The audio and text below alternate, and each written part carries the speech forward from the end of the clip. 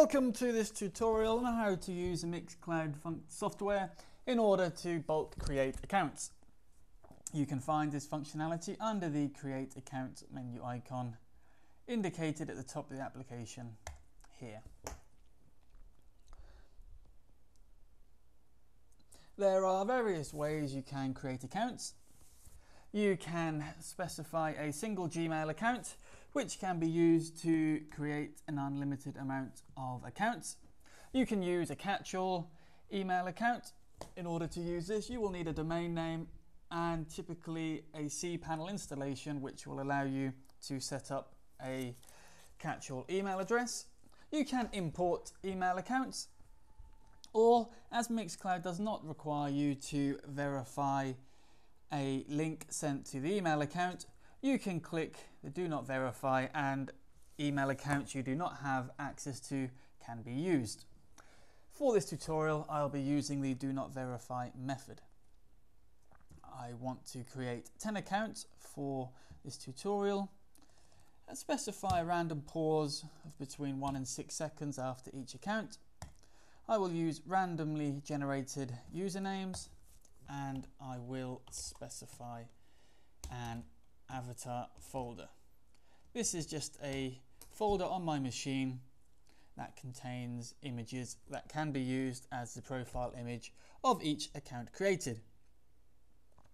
Also, you will need to specify a list of proxies which will be used to generate the accounts. A proxy is basically a computer connected to the internet that you can access remotely. This means the sign up attempts will not all be generated by your single machine. Thus, there is not a footprint which Mixcloud can use to identify all your bulk created accounts for mass deletion. If you'd like to find out how to get a known working proxy list, please see the other tutorial which shows you how to verify a list of proxies using the plays increaser functionality. So here is a list I have generated previously and there is 1800 proxies that have been verified. Once everything has been set up, simply click the create accounts button. You'll get a confirmation that the action has been sent to the processor successfully. And here we can see our create accounts item. The progress is currently set to waiting, so we will need to click the run button to start everything running. Double clicking the item and we can see a real-time log of what is happening.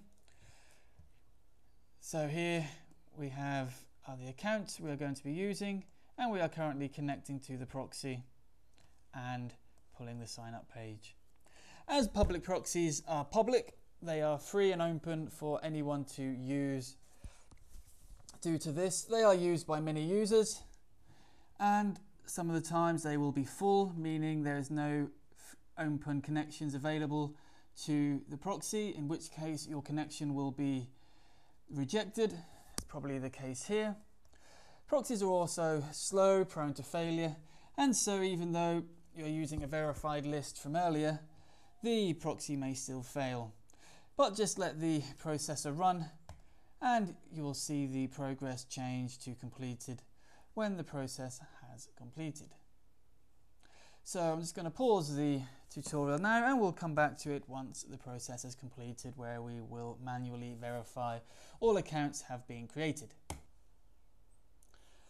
So now we can see that the progress has now completed Going back into the item, we can see that the avatars and details have been posted successfully and here is our 10 accounts created. Going to the accounts tab, ordering by created date, we can see here are our accounts just created. By double clicking the item, we can open the profile URL and see that here is our account. So that's all there is to creating accounts on the Mixcloud Funk software. If you have any questions regarding this tutorial or any other questions regarding the software, please come to our forum at rootjazz.com slash forum. Thank you for watching. I hope you found this tutorial useful.